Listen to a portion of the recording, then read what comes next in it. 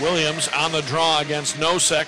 Williams goes down, and it'll be picked up by the Griffins. Out to the point, a shot by uh, by uh, the defenseman Jensen, saved by Richard Bachman. Rebound score. Ferraro puts in the rebound. Porter had the first try after the shot from the point.